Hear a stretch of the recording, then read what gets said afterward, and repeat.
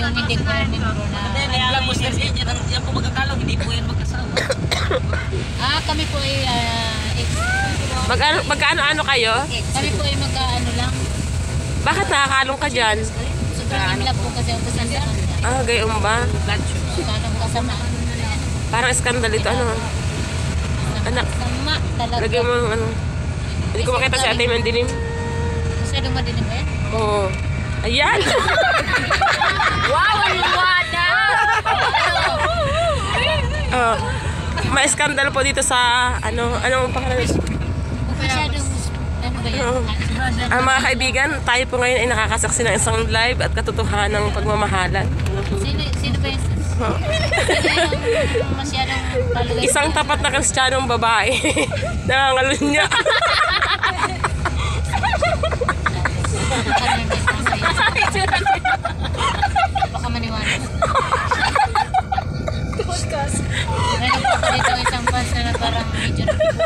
Yung? Baka maniwala. Alamin po natin kung sino yung lalaki. Alamin mo kung sino yan. Sino ba yung lalaki? Yung Ito ba yung alam ng asawa mo mapagiyain? Yung mukha niya kasi po yung nakikikalong lang ng kamigas siya. Pero ito alam niyo kung sino mukha ito kung kanil. Sino ba itong kumalang Sino ba? Nakikalong ka lang ba? Kung sino itong kumalong sa akin. Ay, Ay, sino ka? Sino ba yan? Kumalong po sa iyo. Kaya sa akin. Kumalong sa akin. Kumalong po. Tapos sino kumalong sa akin? Sino yan? ikaw nga, ikaw nga nakakalong. Ayun kumalong sa... Sino kumalong sa akin? Kumalong sa akin. Di ba ganun ang Kanino ka nakakalong? Ako sino yan?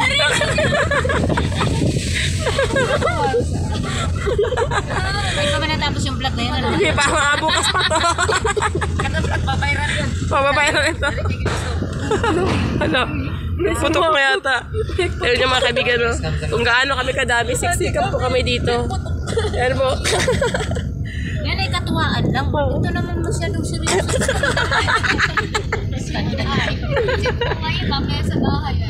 Bubugan niya.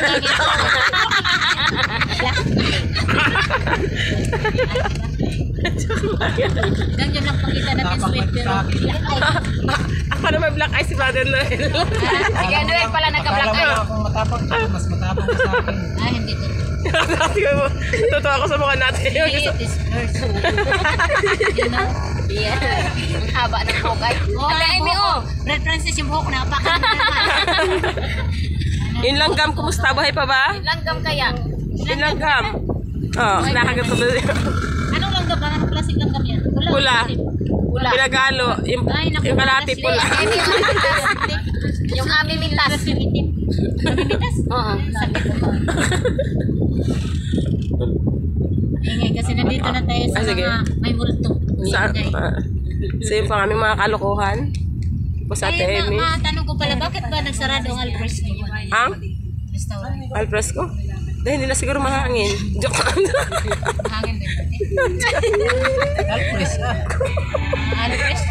Hindi ko alam. Yung makakanda doon sa yung video ay sa yung ano. Ah. Mga tanong punta kayo dyan. Sige. Sige. So yun guys, keep on watching. Yan pa kami mga kalokohan ni Ate Amy. Ah? Please subscribe po.